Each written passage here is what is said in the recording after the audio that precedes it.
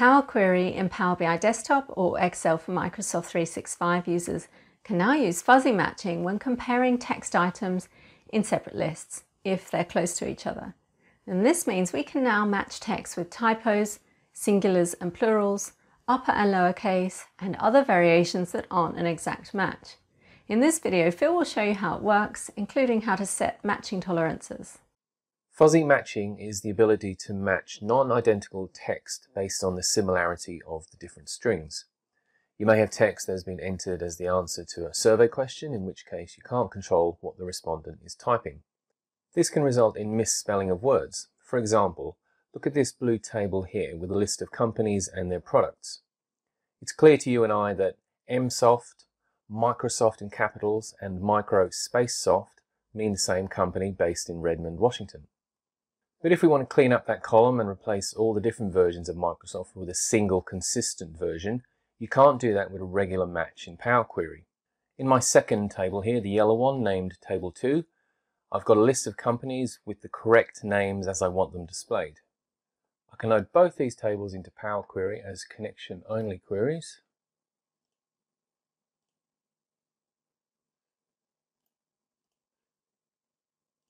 Then from back inside the Power Query Advanced Editor, select either query and from the menu choose Merge Queries and Merge Queries as New. First table will be Table 1 and the second table Table 2 and we're going to do the join on the company column. You can see that Power Query is telling me it's only able to match 3 out of 14 rows from the first table. That's because Power Query is trying to do an exact match on the company columns. If I check Use Fuzzy Matching to perform the merge, you can now see that Power Query is able to match 10 rows out of the 14. Let's see if I can make this even better. I'm going to open the fuzzy matching options. This similarity threshold controls how the fuzzy matching works. As you can see, it says the option indicates how similar two values need to be in order to match. Minimum value is 0, and that causes all values to match each other, and the maximum value is 1.00. This only allows exact matches. The default value is 0.8, even though it's not shown in the box.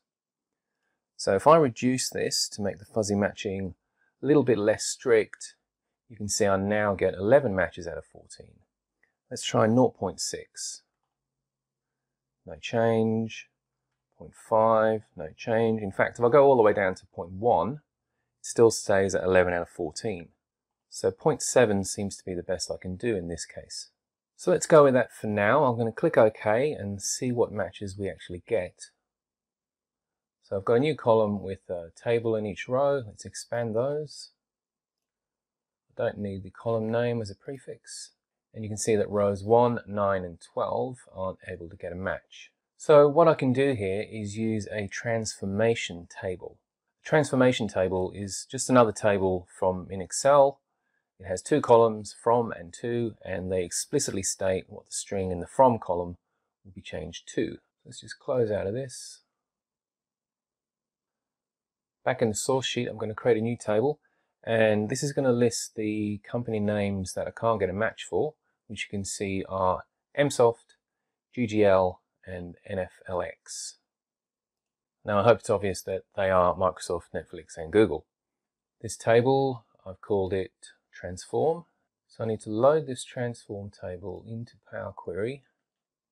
Just load it as connection only. Then jump back into the merge query, open up the source step for the merge, open up the fuzzy matching options, and scroll down to the transformation table drop down, choose transform, and you can now see that we're able to make 14 out of 14 rows match. Click OK. Can see that our expanded table has all the correct names. I can now get rid of this first column, just rearrange, and just rename that. And now when I load this, I've got all the company names as I want them. Well, I hope you found this technique useful.